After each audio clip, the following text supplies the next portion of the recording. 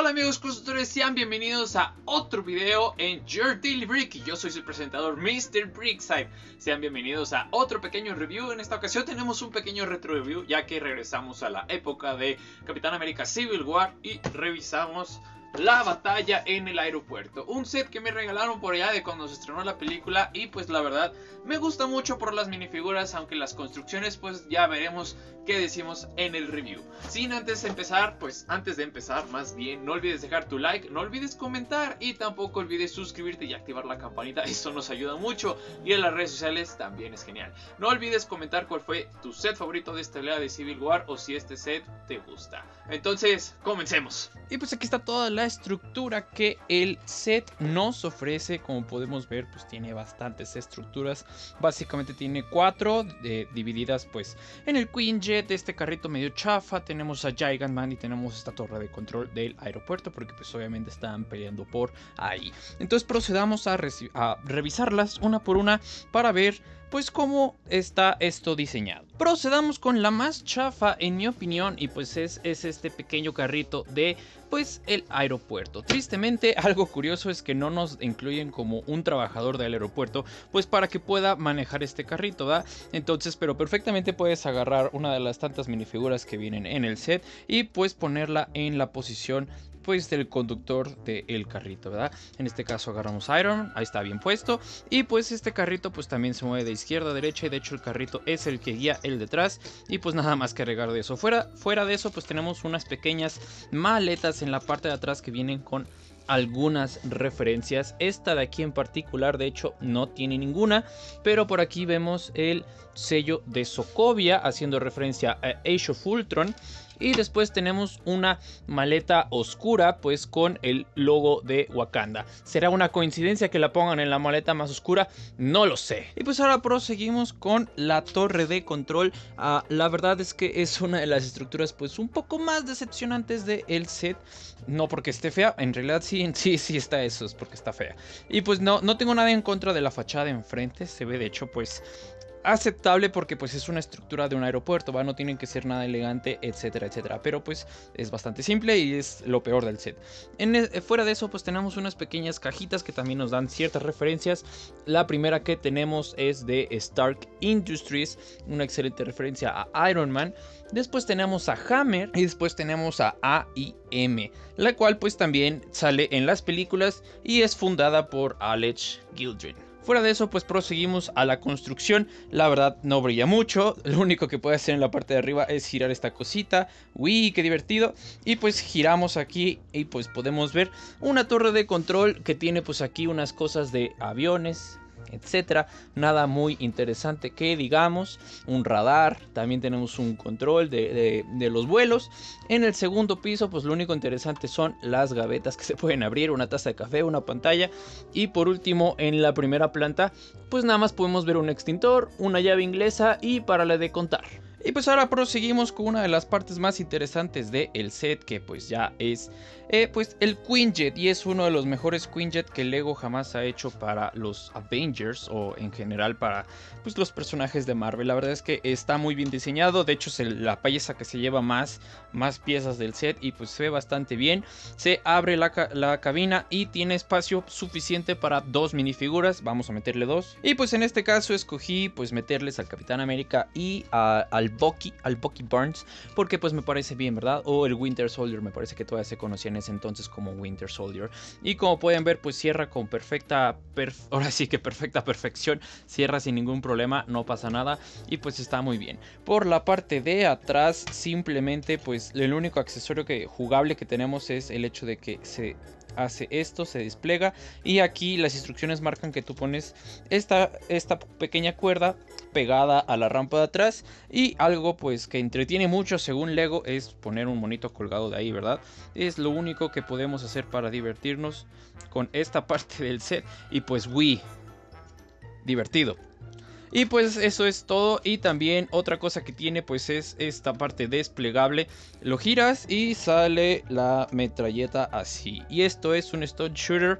Pero como saben pues mm, procuraría no aventarlos muy lejos porque son piezas perdibles. Y ahora llegamos a mi parte favorita del set, la cual pues es el mismísimo Gigantman.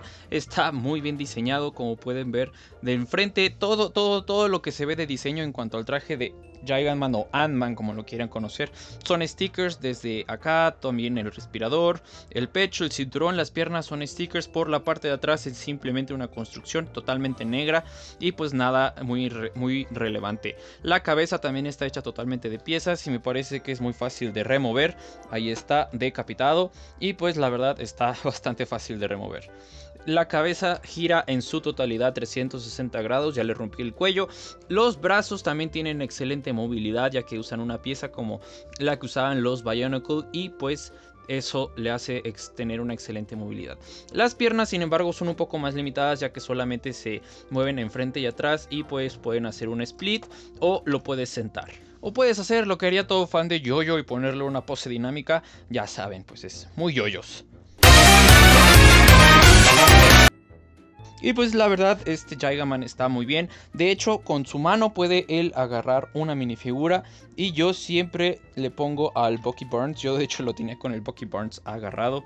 Y me parece muy divertido que pueda agarrar una minifigura sin problema. Como pueden ver, pues la agarra y la sostiene sin problemas. Aunque me parece, de hecho, la agarra con cierta presión. Pero si lo mueves, se cae, como pueden observar. Y pues pasemos a la parte favorita de muchos, que es las minifiguras.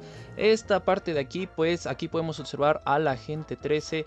Se ve bastante bien en mi opinión, pero sin duda alguna, pues no es la que brilla más en el set, ya que pues digamos que es un personaje secundario todavía en esas películas. Fue hasta Falcon y The Winter Soldier que le empezaron a dar cierto protagonismo, pero pues en este entonces no tenía tanto. Y pues es la cara contenta la que estamos enfocando en este instante sería la cara secundaria y la cara feliz pues eh, o más bien la cara en seria pues sería la cara que con la que yo la tengo exhibida. En cuanto a la impresión pues no hay mucho que desear la verdad es que está decente y no hay nada que pedirle. Los pantalones pues lisos en ese entonces eh, la impresión de pierna pues era un sueño no después continuamos con War Machine y pues tenemos aquí un excelente diseño de ojos rojos y la verdad se ve muy muy bien. El Stone Shooter también funciona nada más que pues no me gusta dispararlo, se pierden las piezas y se ve bastante bien. También el casco abre igual que el Iron Man y podemos ver la cara de Roddy y también tiene una cara pues enojada y también del otro lado tiene una cara contenta. Otra minifigura que encontramos en el set pues es Wanda Maximoff. La verdad se ve muy bien. Este, sí, este cabello sí me gusta más que el que pusieron para Infinity Saga y pues la verdad se ve bastante bien. Tiene una pequeña falda para presentar la gabardina que solía usar en esta película y pues la verdad se ve bastante bien. Su cara principal o lo que yo lo tengo pues es esta cara enojada con ojos rojos pero tiene esta cara un poco más contenta aunque que no sé por qué, supuestamente están peleando. Después tenemos al Iron Man de Civil War. La verdad es era el único Iron Man que yo tenía hasta que me llegó el de Infinity Saga. Excelente armadura, me gustaba mucho la armadura de, Civil War hasta que llegó la de Infinity War. Y pues la verdad se ve bastante bien. Este casco es de los chidos, es de los que pues se levantan y tiene, está todo chueco, miren, está todo chueco, pero está bonito. Y pues antes no le ponían esta cara como tecnológica a los Tony Stark, simplemente era una impresión de Tony sonriente y por el otro lado Tony enojado. No tenía una impresión como digital, como de cuando usa el casco. La verdad es que esa impresión digital pues le da cierto toque, pero extraño también ese tipo de caras. Proseguimos con lo que sería el protagonista de esta película, que es el Capitán América de Civil War. Y la verdad a esta luz se le se le aclaró la cabeza porque en mi opinión está demasiado moreno el tono de piel que le pusieron al Capitán América en esta minifigura, pero fuera de eso, pues la impresión que le hicieron a la minifigura está excelente, fuera de que no tenga impresión en las piernas, pues tenemos el plateado de la estrella, el color de la bandera americana, etcétera. El el pues el escudo la verdad no brilla mucho, es el mismo escudo que siempre hemos usado, simplemente está bien, no hay nada que decir del escudo. Fuera de eso, pues es una excelente minifigura. Obviamente no tiene cara secundaria y tampoco tiene el casco que está usando actualmente en Infinity Saga. Nuestra penúltima minifigura, pues es el Bucky Barnes. Y tenemos aquí al Soldado del Invierno. Esta minifigura me gustó mucho cuando compré el set, o me lo, me lo regaló mi papá más bien. Y pues tenemos aquí el brazo metálico con la estrella, pues la estrella de, allá, ¿no? De, de, los rusos, de los rudos. Y tenemos aquí la impresión de pecho muy bien hecha. Una pistolita, pues nomás este, ahí nomás para darle un detallito, también la impresión detrás, nada mal. Y pues tenemos la cara secundaria como la, la cara seductora, la que yo no uso de hecho. Y pues la que yo le tengo es la cara enojada porque supuestamente están peleando, agarrándose aguamazos, ¿verdad? La verdad es que está excelente la minifigura de las mejores de Winter Soldier que ha tenido. Y pues se podría decir que nuestra última minifigura o minifiguras es el mismísimo Ant-Man en su forma chiquita. La verdad es algo complicado de enfocar. Ahí tenemos a Ant-Man chiquito. No se puede apreciar mucho el detalle porque sí está muy miniatura la minifigura, la microfigura. Pero pues lo bueno es que te dan un repuesto por si se te pierde. Tengan mucho cuidado de eso. Con eso amigos costures si es que van a comprar este set. Y pues aquí está ya todo el set completo listo para nuestro veredicto final. Y en mi opinión, por el valor actual del set del cual ya hablamos al principio del video, pues en mi opinión no vale la pena que lo consigan. Si están en busca de ciertas partes del set, traten de comprarlo por separado. Pero en realidad no recomendaría el set completo porque tiene algunas cosas que no brillan mucho. Digamos que esta parte de aquí la podemos mandar en gas a su madre porque la verdad no está tan chido. Y si nada más pudiéramos comprar esto de aquí, estaría mucho mejor. La verdad es que las minifiguras son muy buenas. De hecho, en mi opinión, la mejor es War Machine por la cantidad de accesorios y, se, y luce mucho. Después el Bucky Barnes se ve bastante bien. El Quinjet es el segundo mejor que hemos tenido en Lego, pero la verdad las otras construcciones son medio malas. Entonces, de hecho, lo que yo voy a hacer es desarmar esas dos construcciones y nada más tener esto exhibido. La verdad, pues no brillan mucho. Entonces, si ustedes están pensando en comprar este set, pues espero que sea solamente por las minifiguras ya que pues las construcciones no son tan buenas.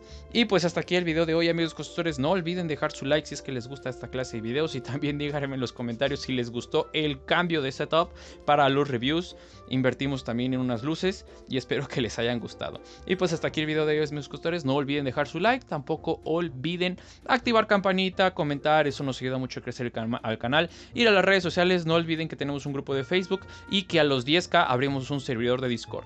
Nos vemos en la próxima. Bye, bye.